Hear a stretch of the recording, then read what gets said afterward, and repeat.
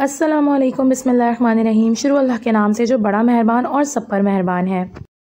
आलू एक बहुत ही पसंद की जाने वाली सब्ज़ी है।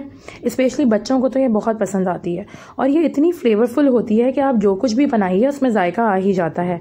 तो चलें फिर आज क्या पकाए में आज बनाएँगे बहुत ही मज़ेदार क्रिस्पी क्रंची आलू के पैनकेक्स जिसके लिए मैंने करीबन तीन आलू ले लिए हैं। एक से दो हरी प्याज ले ली हैं और साथ में लेंगे धनिया, जितना आप चाहें।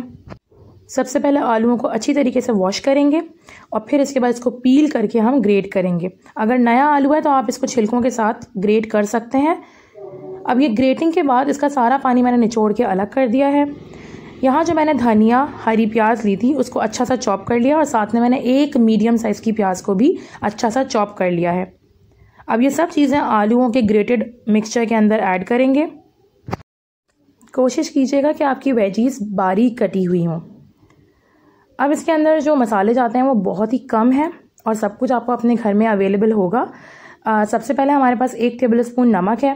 साथ साथ मैंने इसके अंदर एक टेबल स्पून के करीब चिली फ्लेक्स के साथ पाउडर चिली भी डाली है। अगर आपके पास चिली फ्लेक्स ना हो तो आप साबित लाल मिर्च को ग्राइंड कर लें और जो उसका पाउडर बनेगा वो आप इसमें ऐड करें। साथ साथ इसके अंदर एक चुटकी अजवाइन ऐड किया उसका फ्लेवर बड़ा अच्छा आता है आलू में। और एक टेबल स्पून लहसुन पाउडर का ऐड किया है। चाहे तो गार्लिक भी डाल सकते हैं, पिसा हुआ। साथ में हमने इसके अंदर दो टेबल स्पून सूजी का एडिशन किया है और आधा कप मैदा। सूजी इसके अंदर जो क्रंचीनेस है क्रिस्पीनेस है, वो लेकर आएगी। और अब इसके साथ साथ मैं इसके अंदर दो टेबल स्पून ऑयल डाल दूँगी, जिससे इसका टेक्सचर जो है वो मेंटेन रहेगा ड्यूरिंग फ्राइंग जब आप इसको फ्राई करेंगे उस वक्त। तो कोई भी ऐसी चीज़ जो कि आपको फ्राई करनी हो और शैलो फ्राई करनी हो तो उसके अंदर थोड़ा सा आप ऑयल डाल दें अगर बैटर में तो वो बहुत अच्छा टेक्सचर मेंटेन करती है अपना।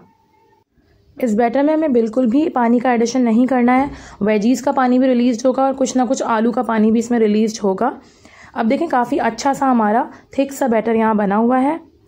अब हमने पैन गरम करना है। कोशिश कीजिए नॉन स्टिक ले लें। अगर नॉन स्टिक नहीं भी ले रहे हैं तो सिंपल पैन लें, उसको अच्छा सा ग्रीस करें और उसके ऊपर इसको अपने हाथ की मदद से रोटी की तरह फैला लीजिए। और फिर अब आपने जब देखना है कि नीचे से ये टर्न कर रहा है कलर अपना चेंज कर रहा है, तब आपने इसको पलटना है। आप चाहें तो बड़ा पैन केक भी बना सकते हैं और आप चाहें तो इसको छोटे पैन केक्स में भी कन्वर्ट कर सकते हैं। अब देखें कितना शानदार, माशाल्लाह क्रंची हो रहा है। आपको आवाज़ से अंदाज़ा हो रहा होगा।